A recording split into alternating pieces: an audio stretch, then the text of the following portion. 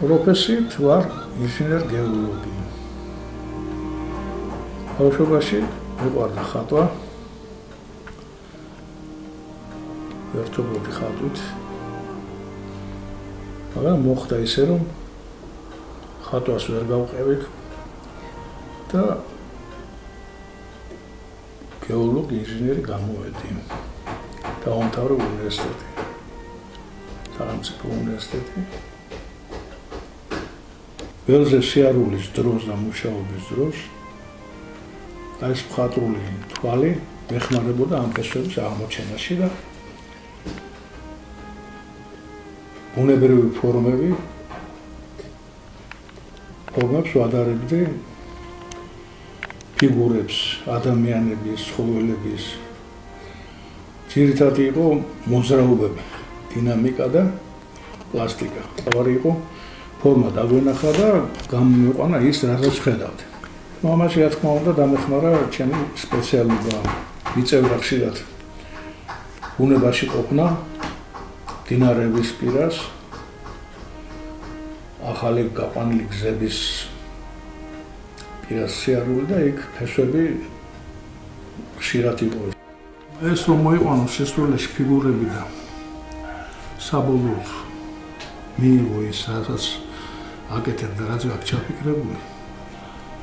ამას სინუსტრებს მთელი რიგი პროცესები. ჯერ უნდა მოიძიოს და კონდეს მიდარ შედარებითი ფიგურა რასაც რა გამოა იქიდან.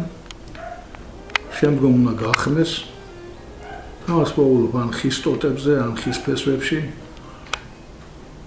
სხვადასხვა მდგომარეობაში ყოფი ხეების ნაწილები. როცა გახმება მე ვიწყებ ამის დამუშავებას. თუ არ დასკდეს, თუ არ დაიხიბოს. ამ ფიგურებს შემდგომ ძალიან დიდი მნიშვნელობა აქვს. შეიძლება ესთეტიკურ სიამოვნებას მანიჭებს. მე ძალიან მომშვიდებს მუშაობის დროს აი რაც არ უნდა ცუდ გუნებაზე ვიყო და ანაღელებული რაღაცა მაწყნარად და პირიქით მომშვიდებს. ესენ როგორც ჩემი საკუთარი შვილები ისე მიყვარს და ჩემი სულიერ სამყარო. ყველას სათითაო თავისი ისტორია აქვს. რა მომენტში როგორ ვიპოვე და როგორ გადავარჩინე მაგალითად დაწვას ან გადაგდებას ან შემთხვევებს. ჩემთვის ყველა საყვარელი ნამუშევარია და ყველა მიყვარს, მაგრამ განსაკუთრებით გამორჩეულია ეს galaktionis ფიგურა და ნამუშევარი.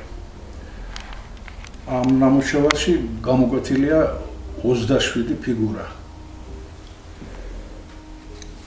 ну მოახსენებთ galaktionis ამძინე ცხოვრება ქონდა და ეს ყველაფერი გამოხატულია ქვემოთ კასკადია ადამიანების რომლებიც გასტყორცნიან galaktionis ჰაერში და მწვერვალზე აყავთ. და ამაში ჩადებული მაქვს მომარ ლებანიძის ლექსი. ჩემს galaktionis მე ვკითხე ერთხელ. ის იყო მთვრალი, როგორც ყოველთვის. ბატონო galaktion, თქვენ პირველი ხართ. დაგვისახელეთ მეორე პოეტი.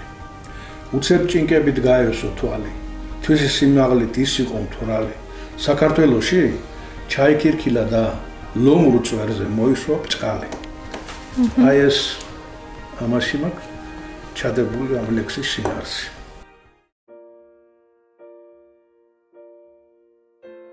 მეორე ნამუშევარი ჩემთვის ძვირფასი და მნიშვნელოვანი არის იესო ქრისტე. რომელიც ვიპოვე აფხაზეთში მუშაობის დროს წითელი ხის ფესვებში. უნებრივად იყო აი ეს გამოსახულება და მე შემდეგ ამისი ფიგურები სილუეტები მაძლევდა იმის საშუალებას, რომ დანარჩენი გამოიკვეთა იესო ქრისტეს სახესთან ერთად. აი ეს ფიგურა მაგალითად ამას დავარქვი. ფეხუძიმე ქალი დრაკონი კლაპავს. ესეც მურმან ლებანიძის ლექსზეა შექმნილი. და საქართველოს ფეხუძიმე ქალი ისევ სუნთქავს და ისევ ბოგინებს. ქრისტეს გადმოხსნა მარიამი მამა ღმერთი ღრუბლებში და ეს კომპოზიცია თვითონ ამ ხელში იყო ბუნებრივად და შემამჩნია და იმის მიხედვით გავაკეთე. თვითონ ამ კაკლის ხელში იყო ფიგურას იძლეოდა ასეც და ჩემი გამოგონილი არ არის კიდე რაც დამინახე ის ამოჭერი.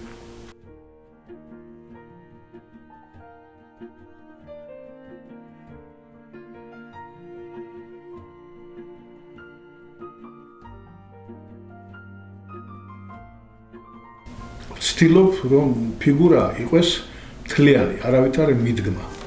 რამდენი ფიგურაც არ უნდა გამოვიდეს, ვცდილობ რომ იყოს სრულფასოვანი და არ იყოს ან ხელი მიდგმული, ან ფეხი მიდგმული, ან რამე სხვა. ეს მაგალითად თლიანობაში ერთი თელია. აი ეს დასადგმელის გარდა ეს დრაკონი და ეს ქალის სხეული ერთი ერთია თლიანად, არაფერი არ აქვს მიდგმული. სილოფეს ყველა ნამუშევრებში და თითქმის ყველა ნამუშევარში ეს არის დაცული. ეს კანონზომიერება და გარდა ამისა, აი galaktionში მაგალითად და სხვა ფიგურებში არის რამდენიმე 30-მდე ფიგურა მაქვს რომელიც არაფერი არ დამატებული, თინდაც ბუნებრივია.